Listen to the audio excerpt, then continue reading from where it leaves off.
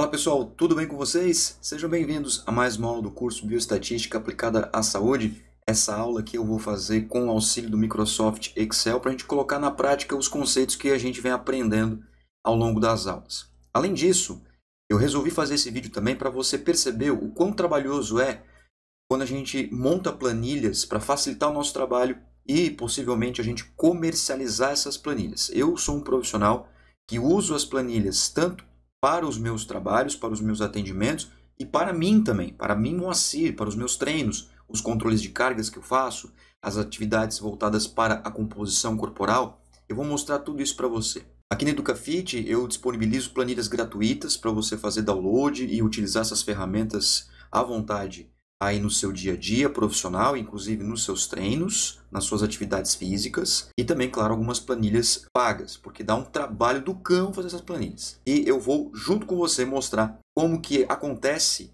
né, a elaboração, por exemplo, de um dado como peso e altura uma quantidade de alunos que você tem e você quer classificar o IMC desses alunos utilizando também não só é, o conhecimento da educação física, mas a importância da matemática, da estatística e também do Microsoft Excel. Lá nos objetivos iniciais, quando nós começamos o curso, eu falei para você que o uso do Excel ele pode ser fantástico. Aqui, claro, eu não vou trabalhar com planilha no sentido de botar as cores, eu não vou melhorar isso, eu não vou dinamizar ela, não, eu não vou deixar esteticamente é, apresentável, digamos assim. O que eu vou fazer aqui é para você entender o processo matemático, para você entender de fato, como que a gente relaciona tudo que está vinculado com a estatística, ou boa parte, nesse caso aqui, média, mediana e moda, e também aí algumas distribuições, classificações, e o uso né, do conhecimento matemático, que você pode fazer coisas maravilhosas. Então, eu vou trazer aqui esse exemplo simples, comum ao dia a dia, que você pode ter esse exemplo aí, inclusive, tá? Então, olha só. Vamos imaginar aqui, ó, que você tenha uma lista de 20 alunos, ok? Vou colocar aqui, ó, 20 alunos já estão aqui. Eu já botei para facilitar a nossa aulinha, certo? Centralizar. Vou deixar ela aqui também centralizada quanto à distância da célula, né? E eu tenho aqui, então, 20 alunos, né? Ó, 1 até 20. E você tem o registro do peso, né? Vou até melhorar isso aqui, vou colocar massa corporal ao invés de peso dos seus alunos. Tá? Eu não dividi por sexo, não fiz essa estratificação, a ideia aqui é você raciocinar os valores. Depois você pode fazer uma divisão aqui, né, masculino, feminino. Você tem 20 alunos de personal trainer, certo? E você quer fazer aí a média, a moda e a mediana da massa corporal e da altura desses seus alunos. Além disso, você quer calcular, por exemplo, o desvio padrão, o coeficiente de variação, por exemplo, que a gente já estudou, e também você quer, claro, ter alguns insights, né, como a classificação do IMC. Simples. Só estou falando de IMC. Imagina quanta coisa a gente pode fazer. Depois eu vou mostrar uma outra planilha, num outro vídeo. Eu vou mostrar para você uma outra planilha disso aí. Certo? Então vamos lá. Aqui eu tenho a massa corporal, aqui eu tenho a altura. Então imagine que esse aluno 1 aqui tem 80 kg, 1,77m de altura, de estatura, tanto faz. O aluno número 2 tem 55 kg com 1,52m de estatura e assim sucessivamente você tem os dados você precisa né, colocar esses dados. Repare que eu tenho 1,9, 1,6 e 1,5. Esses alunos aqui, o 8, o 10 e o 15, respectivamente, repare que não aparece a vírgula depois dos valores, né? É 1,9, 1,6, 1,5. Por quê? Porque o Excel está entendendo né? Assim como a matemática entende que o zero ele não precisa estar representado com o número inteiro. Mas eu posso vir aqui, ó, tá vendo? Ó? Ó, diminuir casas decimais, aumentar casas decimais. Então, se eu quiser deixar bonitinho, eu vou aqui, ó, aumentar casas decimais. Ah, aqui tem 80 também, né? Ó, falei, vou fazer ao vivo com você. Ó, agora já ficou bonitinho, ó, ó já ficou mais aparente, né? Todos os alunos têm a sua estatura, mesmo aqueles que têm valores é, como por exemplo aqui 80 centímetros, né? Já tem o zero ali do lado. Fechou? Fechou. Eu quero calcular o IMC desse aluno. Como é que eu calculo o IMC mesmo? Bom, o IMC ele é calculado por meio da equação a massa corporal dividido pela estatura ao quadrado. Mas eu quero fazer isso automaticamente. Eu quero fazer isso com o auxílio do Excel. Dá de fazer? Claro, dá de fazer. Só deixa eu fazer um parênteses rápido. Tem um curso aqui na EducaFit, sabe disso, né? Antropometria e composição corporal e tem um curso de proporcionalidade corporal. Os dois aqui na EducaFit, onde eu faço diversos cálculos, mostro para você muita coisa que vai aí melhorar muito, acredito eu, penso eu, nas suas práticas profissionais. Dá um confere lá depois, vai com carinho lá, antropometria, composição corporal e proporção corporal. O curso, na verdade, é proporcionalidade corporal. Então dá um confere lá. Olha só. Quando eu quero fazer um cálculo automático, eu começo com igual. Igual. Então o Excel vai entender que vai acontecer uma operação aqui. Essa operação, existem inúmeras operações que você pode fazer. Né? Nesse caso, eu quero fazer apenas uma divisão e uma multiplicação. Né? Eu quero dividir a massa corporal pela altura ao quadrado. Só que se você não tomar cuidado, pode dar erro, porque existe uma ordem das operações matemáticas. Então, aqui nesse caso, eu vou fazer o seguinte. Ó. Eu quero que a massa corporal divida a altura ao quadrado. Então, o que, que eu vou fazer? Eu vou clicar aqui, né? Ó, massa corporal desse aluno aqui. Repara que ficou C3, ok? Por que C3? Porque tudo que você direciona no Excel é por colunas e linhas. Coluna vertical. Só você lembrar de coluna de prédio. Coluna de qualquer coisa, né? Coluna de concreto. Vertical. E a linha, ó, quando você vai desenhar uma linha, por exemplo, no papel, ela não é horizontal, ou seja, esquerda para direita, direita para esquerda. Então a linha é, no caso aqui, o número 3. E a coluna, no caso aqui, é a letra C. Então, no Excel, colunas são letras e linhas são números. C3 está então designado ali para a coluna C3, né? E a gente precisa então utilizar essa informação a nosso favor. Vamos lá, ó. C3. Eu quero que C3 divida. Eu uso então a barra. A barra é o sinal de divisão no Microsoft Excel. Eu quero que a C3, ou seja, a massa corporal do aluno número 1, divida a altura ao quadrado. Então, o que, que eu vou fazer? Primeiro, eu tenho que entender como é que funciona o MC. Tá vendo que não adianta você comprar a ferramenta se você não entende o conceito? Eu sempre falo isso, sempre falo isso. Entenda o conceito. Ora, eu preciso pegar o peso e dividir pela altura ao quadrado. Mas antes eu tenho que fazer a altura ao quadrado, senão o cálculo vai dar errado. Então, para eu fazer a altura ao quadrado primeiro, eu preciso usar o meu conhecimento para explicar para o Excel o seguinte. Excel, eu quero que você faça primeiro a altura ao quadrado, depois a divisão. Então, eu vou abrir um parênteses e vou pegar a altura e vou usar o asterisco, que é o sinal da multiplicação no Excel. Não é ao quadrado? É ao quadrado. O que, que significa o quadrado? Ao quadrado é o número vezes o próprio número, não é vezes 2. Vezes 2 é uma coisa, ok? 3 vezes 2 é 6.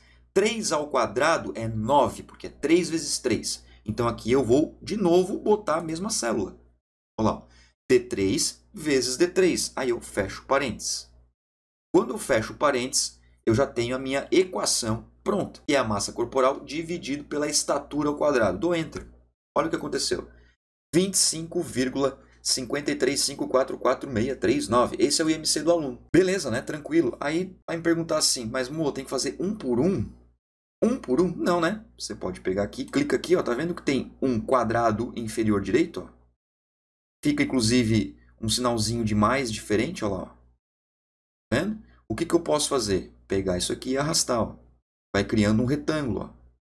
Eu vou até lá, no vigésimo aluno que eu tenho. Olha o que acontece. Automaticamente, o Excel já entendeu que aqui é C4 dividido por D4 vezes D4 C5 dividido por D5 vezes D5 e assim sucessivamente até chegar aqui em C22. Ok? Só porque assim, ó, repare que tem muitos números né, depois da vírgula. É, no IMC eu gosto de trabalhar com dois números depois da vírgula. Um a dois números depois da vírgula. Então, o que, que nós podemos fazer? Lembra lá do diminuir as casas decimais aqui, ó? Diminuir e aumentar? Se eu colocar aqui aumentar, ele vai, né? Ó, Inclusive até não caber mais na célula. Agora, se eu clicar aqui ó, em diminuir, repare o seguinte, ó, diminuir casas decimais. ok? Pode ser que não apareça a mensagem por causa do, do programa que eu utilizo para gravar. Então, às vezes eu coloco o mouse em cima, para mim está aparecendo, mas para você pode ser que não apareça. Não tem problema, depois você faz no Excel 80. Está aparecendo aqui ó, o mouse em cima. Quando eu boto o mouse em cima e deixo uma fração de segundo, vai aparecer a mensagem para você diminuir casas decimais. Então eu vou clicando aqui até eu chegar à quantidade de casas decimais que eu quero. Ó, como é bonitinho, né? 25,54 o IMC aqui do aluno número 1, 23,81 e assim por diante. Ok? Então eu tenho aqui, por exemplo, os meus dados já montados. Agora eu quero calcular a média do peso dos meus alunos. Eu quero saber como é que os meus alunos estão em peso. Eu quero saber também qual que é o peso que mais aparece. E eu quero saber também qual é o valor central desses valores. Né? Posso também pegar o desvio padrão. Vamos fazer o desvio padrão também. É, vamos fazer. Só uma centralizadinha aqui. Show, né? Vamos ficar aí no desvio padrão, mediana, moda, média. Podemos fazer o coeficiente de variação também, né? O coeficiente de variação é bem legal. Acho que dá pra gente fazer também. Vamos fazer o coeficiente de variação também, que é o desvio padrão dividido pela média. Vamos colocar aqui. Vou botar CV, né, para abreviar. Coeficiente de variação. Pronto. E aqui então eu vou designar o que eu quero, né, em relação a esses valores, como por exemplo a massa corporal, vou botar aqui MC. Aqui a altura. Vou tentar o IMC também para ver se aparece moda, né? Vamos ver se vai aparecer. E aí vamos brincar aqui, ó. Depois você pode, por exemplo, ah, colocar uma corzinha, né? Colocar negrito, sublinhado. Pode colocar uma corzinha de fundo aqui, ó. Eu gosto de fazer esse tipo de coisa também, mas não vou fazer isso agora. Ok? Ó. Média da massa corporal. Como é que eu faço cálculo de média? A média é o somatório de todos os elementos do conjunto dividido pelo n total, né? pelo número de elementos do conjunto. Então aqui eu faço simplesmente assim, ó. Média ó, igual a média. Lembra sempre de colocar o igual. Igual a média. Eu pego aqui e arrasto. Ó. Repare que lá em cima aparecendo igual a média, C3 até C22.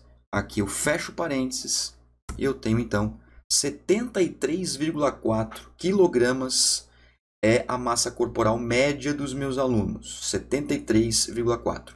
Será que tem moda? No Excel, moda é escrito como modo.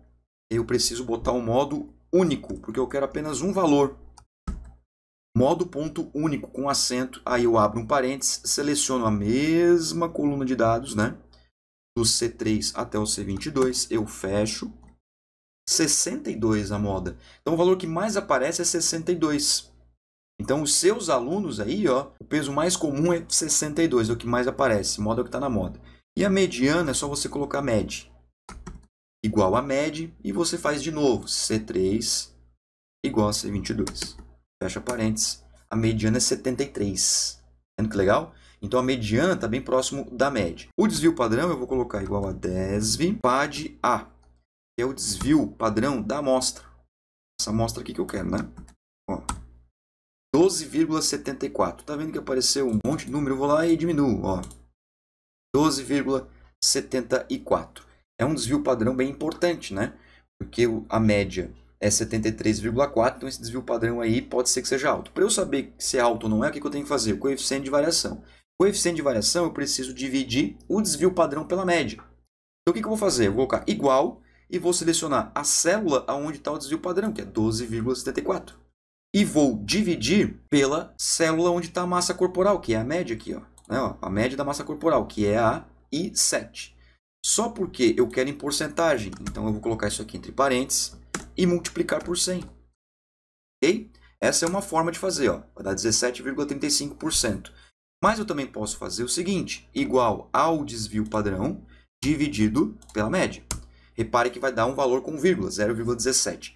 Mas eu não tenho que multiplicar por 100? Tem que multiplicar por 100. Então eu simplesmente vou aqui, ó, nessa caixinha onde está escrito geral, clico nessa flechinha para baixo e coloco porcentagem. Olha lá, ele já muda para 17,36. Coeficiente de variação nesse caso aqui, né, 17,36 médio em relação à massa corporal. Então aqui eu já fiz com você média, moda, mediana, desvio padrão e coeficiente de variação. Posso fazer isso para altura também? Claro, posso fazer isso para altura também. Então eu vou fazer a mesma coisa aqui, ó. Média da altura dos meus alunos, 1,7225. Deixa eu diminuir para ficar 172. Aqui eu vou fazer também da massa corporal, Aqui eu vou fazer também. Vamos ver se tem moda. Se não tiver moda, vamos ver se tem. Não tem, tá vendo? Não tem nenhuma altura que se repete. De fato não tem, né? Se olhar com calma ali, ó, não vai ter nenhuma altura que se repete. Deixa eu colocar uma proposital aqui. Olha lá, 1,9 apareceu. Ok? Como eu alterei aqui, a média vai alterar também. Não apareceu aqui, mas nas outras casas decimais alterou. Mediana. Vamos ver a mediana? Da altura, qual é o, o valor central dessa distribuição? 0,745. Deixa eu colocar menos casas. 1,75, né? Ele arredonda para 1,75. Então a mediana está bem próximo ali da média também, né? E a moda é 1,90, que eu coloquei propositalmente. Desvio padrão. Vamos lá. Desvipad A. E é o desvio padrão da amostra, dessa amostra nossa aqui. Ver quanto é que tem aqui.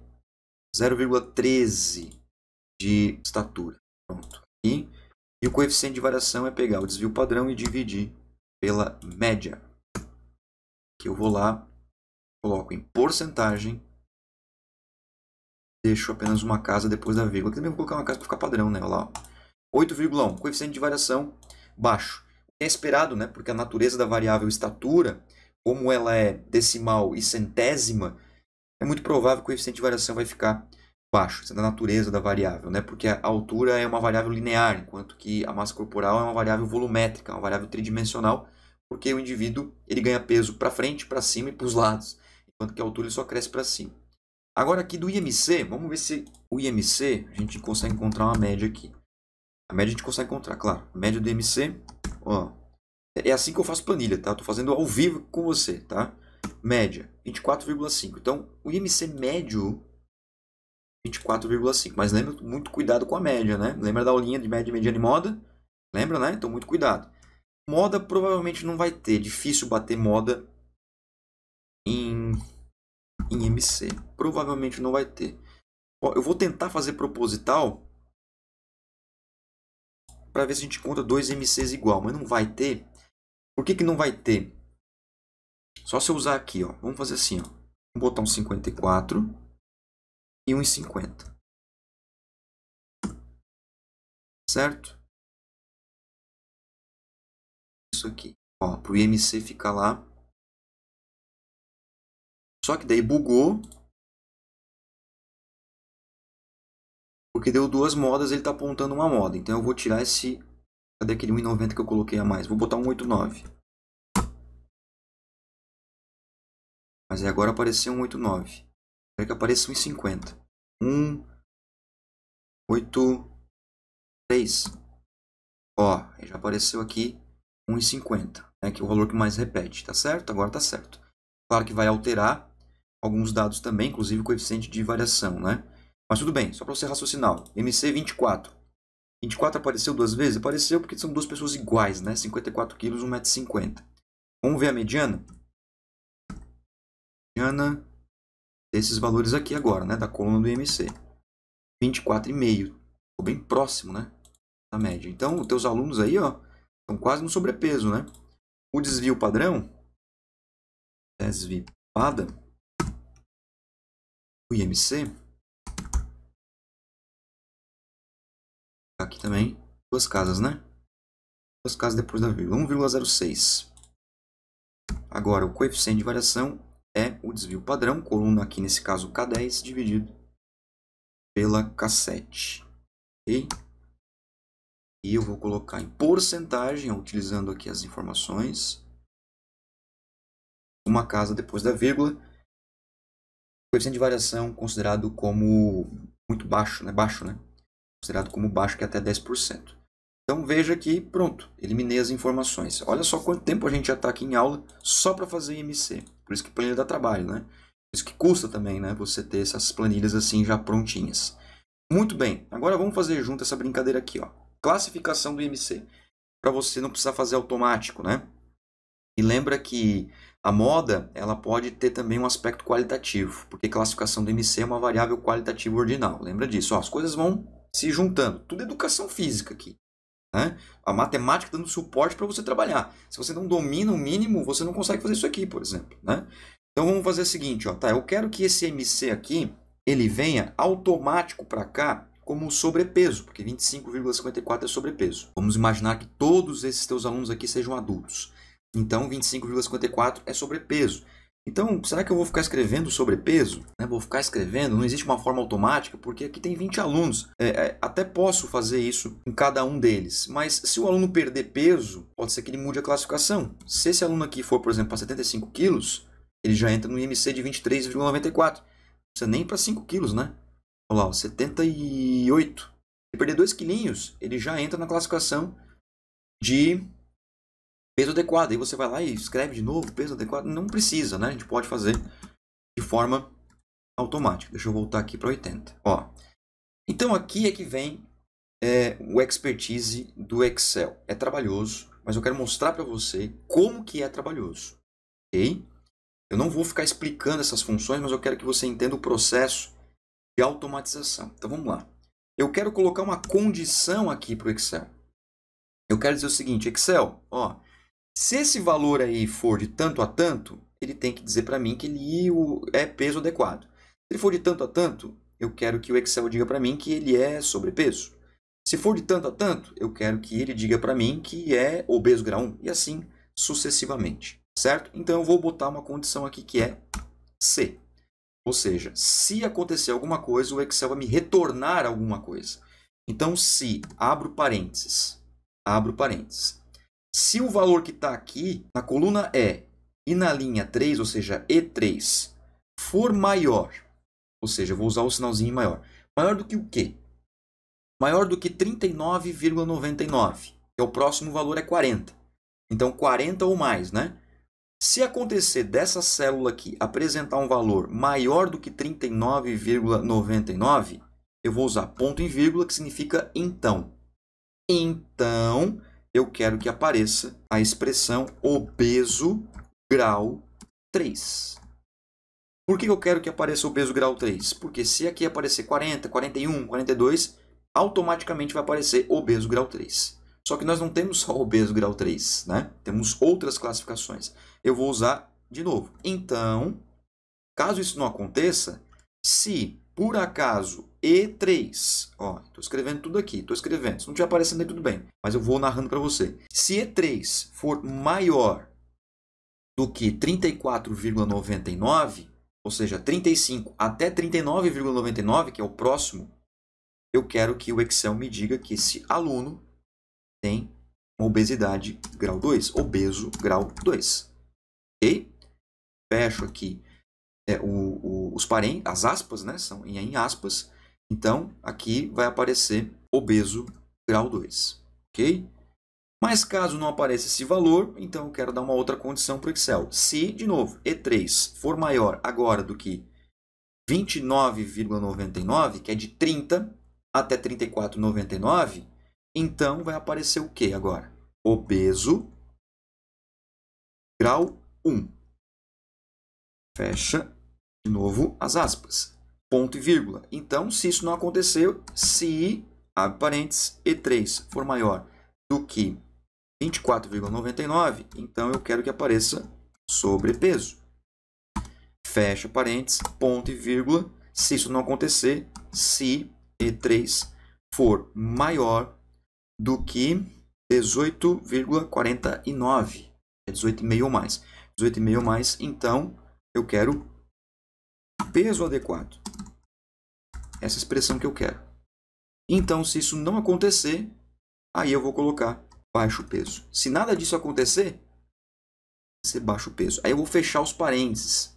E aqui pode ser que aconteça algum erro. É normal, tá? O Excel pitar que deu erro. Ah, não deu. Olha que legal. Não deu. Já apareceu o que ali, ó? Sobrepeso, tá vendo? Sobrepeso. Vamos, vamos testar se tá certo, ó. Se esse aluno perde lá 2 quilos, Olha lá, o peso adequado. Aí eu vou arrumar aqui a coluninha. Vou aumentar aqui. Tô ao vivo, né? Quem sabe faz ao vivo.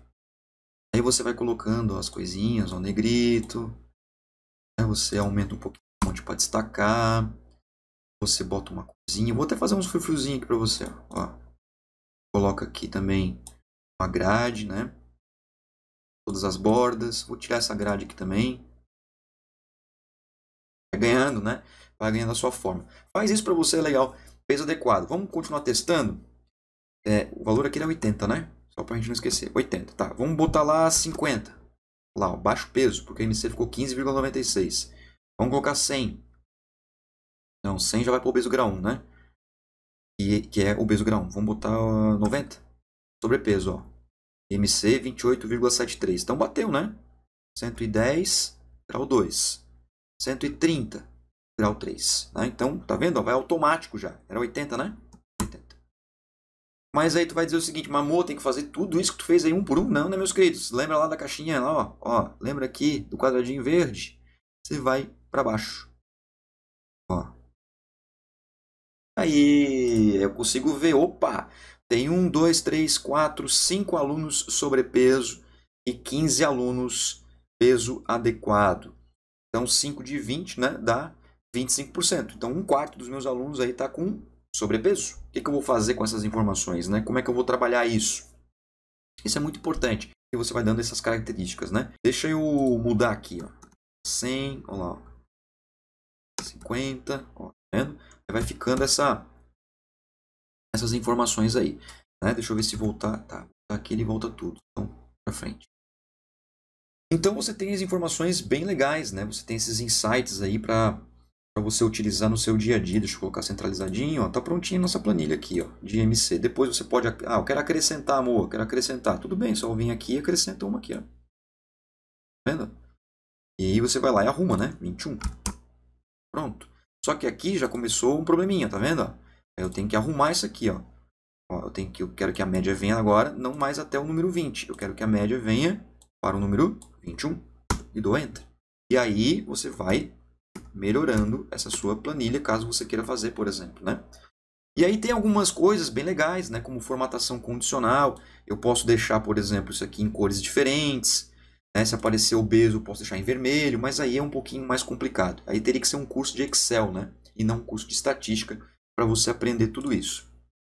Mas tá aí, ó. Fiz para você ao vivo aqui como que a gente pode trabalhar média, moda, mediana, desvio padrão, coeficiente de variação, dentro da área da educação física. E aí eu posso, por exemplo, fazer algo bem interessante também, que é a questão da porcentagem. Né? Eu quero saber quantos por cento dos meus alunos estão sobrepeso, quantos por cento estão em peso adequado e se por acaso aparecer algum obeso. Bom, aí também a gente pode fazer isso, né? se você quiser utilizar de uma outra forma, para poder ter esse feedback se você acha que é importante, né? Se você está trabalhando, por exemplo, no contexto geral dos seus alunos. Se você não acha interessante, não tem problema nenhum. Aqui eu vou até colocar aqui, ó DucaFit Test. Ó, né? Aula. É o que a gente usou para aula, né? Vou botar aqui o nome da nossa planilha. Então fica aí, né, tudo certinho, né? Tudo bem representado.